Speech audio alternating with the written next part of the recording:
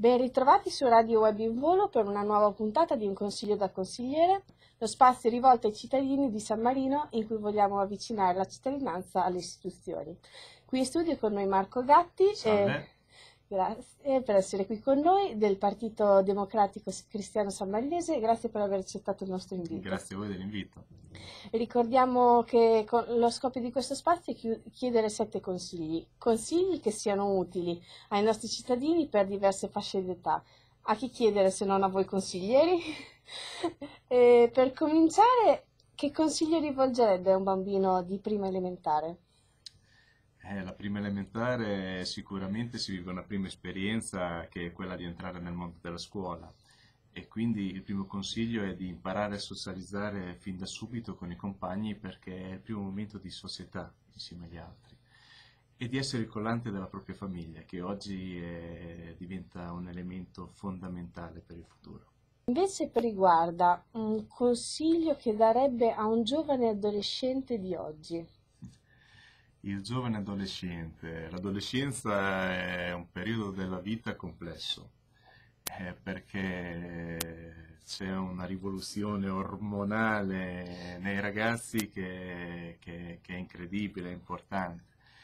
Credo che in quella fase di vita sia importante rimanere se stessi e non farsi trasportare dagli altri, quindi eh, sapere sempre che le scelte che si fanno hanno delle conseguenze e quindi ogni scelta vada ben ponderata in, in quest'ottica, perché poi avrà delle conseguenze anche sulla vita futura. Certo, sono degli ottimi consigli, grazie. Perché io mi sento ancora un po' adolescente.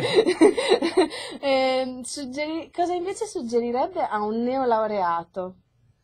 Neolaureato. Adesso, Ma il neolaureato è il problema più grande che ha in questo momento è trovare un lavoro. E un lavoro soprattutto che sia corrispondente agli studi che ha fatto, non è così semplice, non è così automatico. Quindi il consiglio che gli do è cercare comunque un lavoro, prendere quello che offre in quel momento eh, la società, l'economia, eh, ma lavorare per eh, riuscire eh, alla fine a conseguire il risultato per il quale ha studiato, per il quale si è laureato. E quindi eh, il, non, perdere il, esatto, non perdere mai di vista l'obiettivo, bravissimo. Cosa vorrebbe consigliare a una coppia che ha appena deciso di sposarsi? Eh, anche questa è una domanda complessa nella società di oggi, ma sulla base della mia esperienza, io mi sono sposato molto giovane, avevo 22 anni e, e quindi quello che ricordo è che sicuramente l'inizio è, è, un momento complesso, nel senso che bisogna mettere insieme due caratteri e esigenze differenti. Però oggi sono tra pochi giorni, tra l'altro facciamo 29 anni di matrimonio, abbiamo due bellissimi figli e credo che sia un'esperienza eh, che vada vissuta in continuità e soprattutto quando ci si sposa è perché c'è un fuoco che sta ardendo e bisogna far sì che quel fuoco rimanga sempre acceso e quindi quando vanno le difficoltà che si vede che il fuoco inizia a spegnersi bisogna subito darsi da fare per rinvigorirlo con un legna nuova perché altrimenti poi le esperienze finiscono male. Certo. E invece a un disoccupato in questo momento che cosa vorrebbe consigliargli? Ma un disoccupato ho un po' quello che dissi prima per un neolaureato, e chiaramente è un'esperienza differente, soprattutto se uno si trova disoccupato venendo da una precedente esper- esperienza di lavoro perché gli cambia totalmente il, il progetto di vita che, che, aveva già in corso.